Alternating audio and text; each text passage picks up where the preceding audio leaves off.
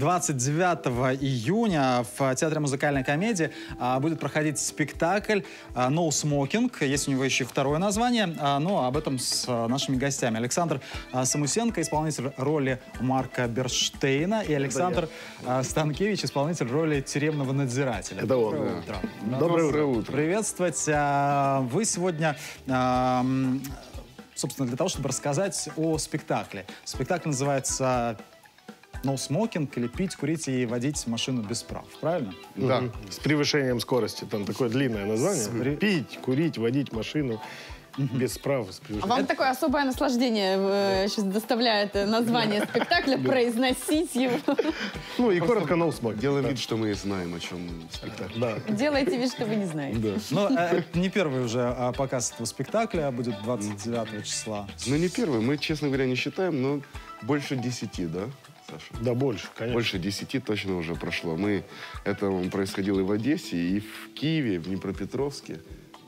И все. И все, да. В Днепропетровске, в Киеве, в Одессе. Пока что мы были так. э, И, собственно, ну, идет он на самом деле регулярно в городе Одесса. Э, Его любят. э, И вообще это на самом деле реальная история. Кто не знает, это автор э, Филипп Лелюш э, в, в аэропорту был заключен в камеру предварительного заключения но во Франции. Понимаете, да? Есть разница. Там совсем Франция и мы, да? Ну, абсолютно. так вот, э, он был заключен туда именно потому, что закурил в аэропорту. Закурил, ну, хотелось человеку курить очень сильно. Большая была очередь, он закурил и, собственно, попал в тюрьму.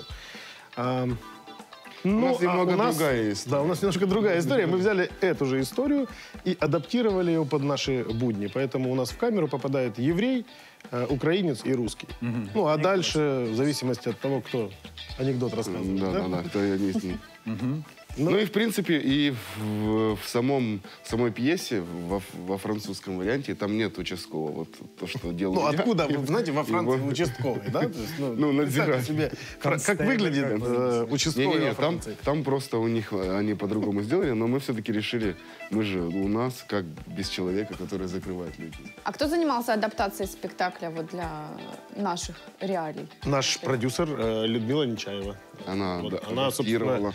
пять лет она вынашивала этот продукт, э, потом она адаптировала, потом Ходила по нас. дворам, спрашивала, ну как, как вам? Как, по-вашему, подсаживала. выглядит типичный участковый, да? Вот так. Вот, собственно, так выглядит типичный. Не, ну подожди, это я пока трезвый. Да. Потом я побреюсь, буду, у меня будет гладенько. А когда я одену форму, вы поймете, что так действительно выглядит типичный участковый. Сейчас я не похож. Ну, судя по вашему настроению, э, спектакль исключительно комедия. А, Ну, там есть нюансы. Я скажу так, потому что если сейчас сказать, что там будет происходить, будет неинтересно. Да. Нюансы есть. Это интрига. То есть такое есть. Интрига слово. бешеная, Интрига, да. бешеная интрига. Мы, значит, ее не раскрываем. Но э, смешно. Однозначно смешно, потому что люди смеются. Мы проверяем. Там есть музыка, дым, свет, Дверь. даже танцы, дверь даже есть.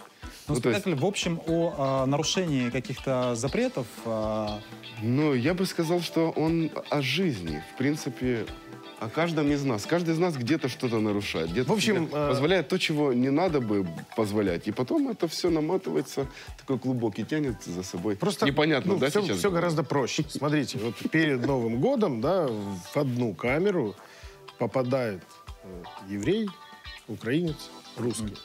Каждый попал сюда, и каждый хочет встретить Новый год, но э, Почему его не начинаешь с еврея? А Почему не потому что я русский играю? Марка Бернштейна. Это Хорошо. единственный шанс, э, чтобы он был первый. понимаете? Да. А история про- произошла под э, Новый год, но, э, тем не менее, показываете вы ее летом. Круглогодично, я бы Круглогодично. сказал. Да, круглогодично. Вы хотели спросить, что с нами не так?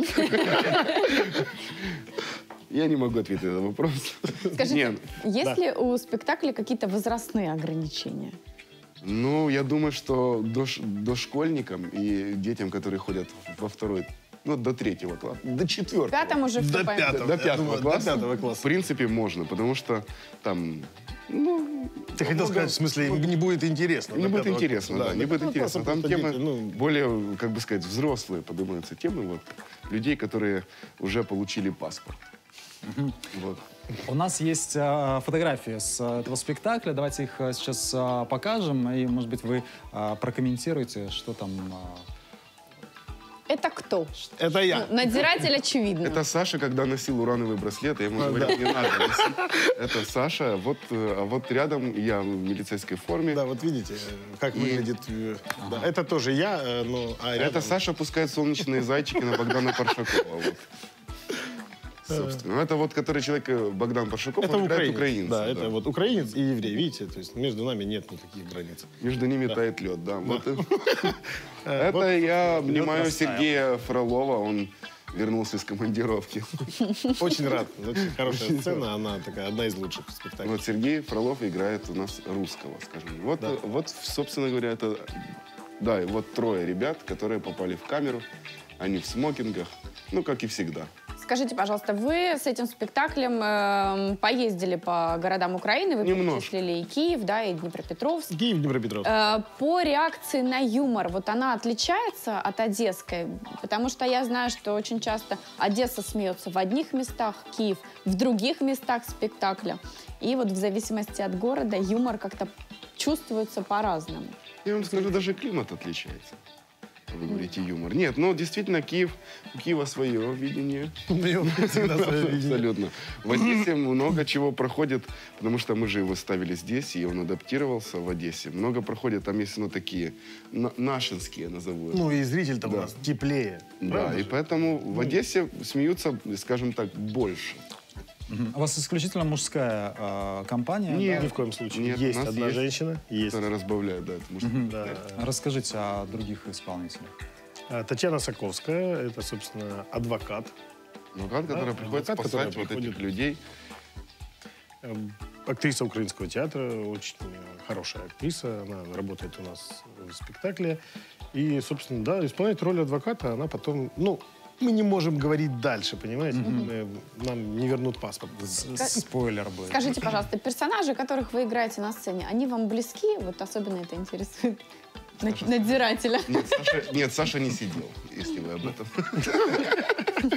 Нет, не близки, если честно, абсолютно не близки, но почему-то чисто физиологически так случилось, что приходится играть милиционеров, военных и депутатов. Я не знаю, как это связано, но какая-то связь в этом, наверное, есть. А мне что сказать? Саша, я не знаю. Евреи, и- Можешь сказать евреев, шаббат шалом, хотя сегодня вторник. подожди, собственно, евреев, убийцев, вампиров, да, то есть как бы вот такие вот какие-то вещи, да? Да, Саша, Ты подставил меня, слушай? конечно. А, Давайте еще раз а, пригласим а, всех в Театр музыкальной комедии на концерт.